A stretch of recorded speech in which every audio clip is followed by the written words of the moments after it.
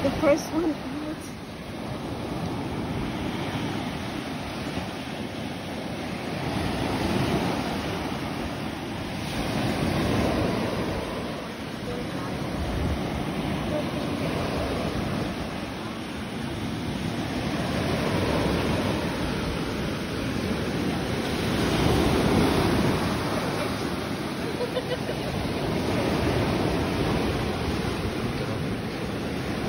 Go other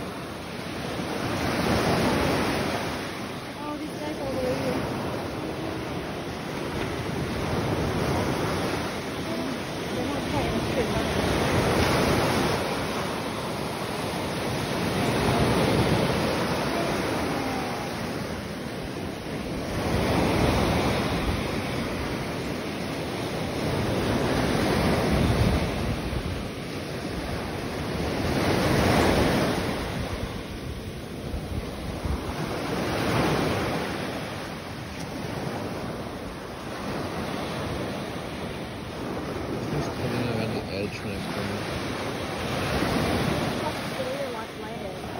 the head.